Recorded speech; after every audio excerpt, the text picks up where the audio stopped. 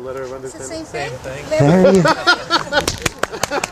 Thank you. Either every step of the way, every time, it's going to be the same thing over and over.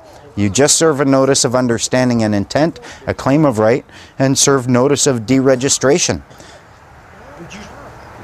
I was going to ask you, do you know of anyone here in Ontario who is driving around with an unregistered vehicle and has managed to? Use the proper words. What is the proper word You you're traveling in an automobile or you're traveling in a private conveyance, and yes, there are people doing it. I actually put the, the sign on the back of my car that you suggested, uh, not for hire, private conveyance. Huh? That's good. I haven't stopped yet, but Well, serve your notice. And the other thing is, if you're out there in a vehicle or in an automobile and it has no plate whatsoever, they do have the color of right to stop you to ensure it is not stolen. So you want you don't want to try to fly under the radar. You're flying right through the radar, saying, "Hey, I'm friendly here. Don't shoot at me. And if you do, here's my fee schedule." Nah, nah, nah.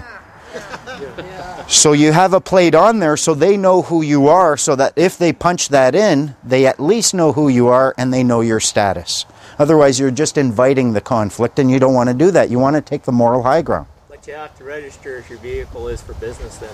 Yes, if you are making money on that highway because it is publicly owned property, for the very same reason they can't stop you from traveling on it without a license, they can demand that you do have one if you're making money off of it. And I think that's the way it should be. Otherwise, you would have corporations ripping that, that thing up and just leaving devastation behind. What's with those blue license plates I'm seeing on your website? That, that's That's the free man plate, yeah? And, and that, that's what you would put on your vehicle? Yep.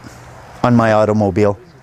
can we get them from you? We are looking at doing one of these, but it's not a matter of just putting this plate on.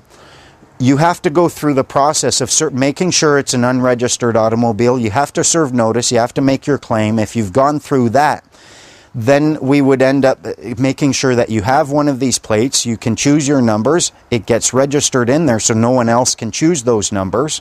And then if we monitor you going through this process, what we would do is send you a little metallic sticker, kind of like your registration stickers, so that the cops would know that not only has this person gone through this this process, but they've got a witness in the form of a notary public, and we're done. We can't even touch them, because uh, otherwise you're gonna it's going to be abused. And one of the worst things you, you could do harm to this movement is to have people come out, start abusing it, young kids, and then uh, the people would cry for a change, and they would cry for a change. handicap Trying, sticker. Abuse, like the abuse of the handicap sticker. yeah. And you know, the freedom is a result of greater accepting greater responsibility. So it's a matter you're not going to be able to get away from it without that. Just want to go back to the, uh, the birth certificate and the bond number on the back of it. Is that traded on the open market? Oh yeah. Oh yeah. Because they, they're using the money to invest and get back the investment. And we have no say over that. I mean, it just happens. Of course you do. That's what you said. Typically speaking, we don't know. You've never tried, have you? As long as they're not informed. That's the only reason you have no say is you've never found your voice. You find your voice, you will find they have to respond. They're your fiduciary agent. They have to accept your directives. Now, the uh, letter of um, intent, understanding and so forth for each situation has to be crafted. Call it a notice. A letter can be ignored. Okay. But it has to be crafted differently for each situation. We can't just blankly have one notice. Uh, I would agree with that because every situation is going to be different, but you can craft a, a fairly comprehensive one that should be able to cover just about anything you think you might have to deal with. So it's find that information to actually have it jotted down on paper. I'm, I'm waiting to see. What sort? The information that's crafting this notice. Trying to find the, the words to say to put into it. Again, it's going to be your understanding. So it in your book or I do have it in my book, but your understanding, your notice of understanding, it better be something that you can articulate and defend in a proper court of law. Otherwise, they're going to catch you with your foot in your mouth, and you're just going to look silly. Yeah. As simple as saying, I, I realize that whatever, and just what you notice and understand, you're making a statement of that. Well, and you, I- and you're putting it forward. I'm saying this is where I stand. This is what I under. This is what I believe. It's as simple as that. Essentially, this is what I firmly believe, and this is where I'm standing. And you can't move me just by ordering me because we're both equal. You go stand over there if you want. That's your belief. I'm standing over here. And the intent is if you come and move me, then. Yes.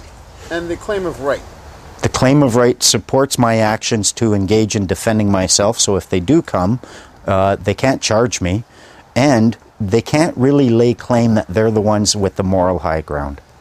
And that's what it really is about. You, you get the moral high ground, you look at them and say, "What? It, w- w- we can't fight. Sorry."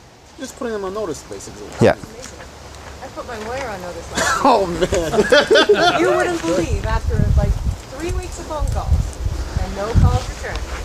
Typed out the letter, faxed it in. You are now on notice mm-hmm. that if I don't have an answer from you by close of business, so I think they gave me 24 hours, I will be taking this further. There's my intent, and I had every intention of following it up. Bam, he's on the phone. Oh yeah, not- notice counts. They can't. It's it's information presented that they can't claim ignorance of, and the letter they can.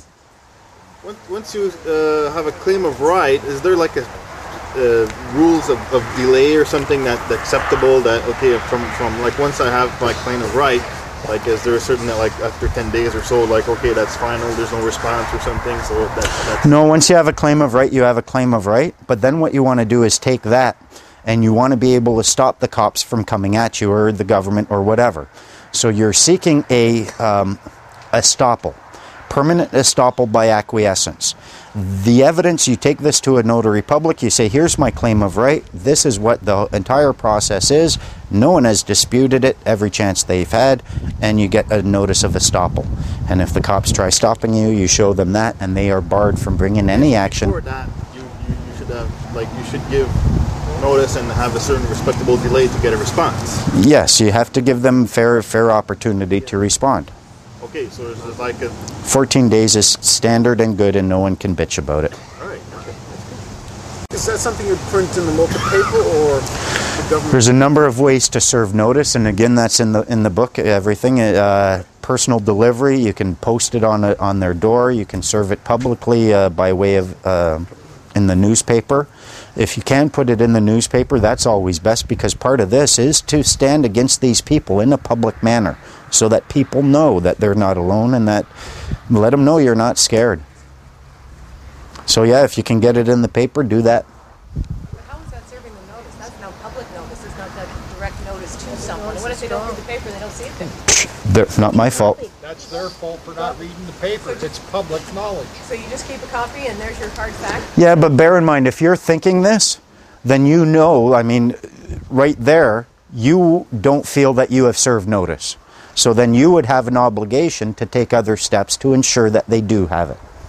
The purpose of that notice in the paper is uh, it's not to get away with making sure that you can claim they got notice, but they didn't actually. You're not trying to get anything over on anyone. You just want that notice seen from even more people. Two questions.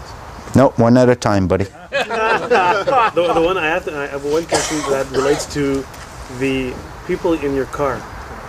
So, is there uh, could the uh, could an agent have any force, or could they do anything if uh, your re- your vehicle is not registered, uh, reg- yeah, registered, and you don't have a driver's license, and you just make sure that it's okay.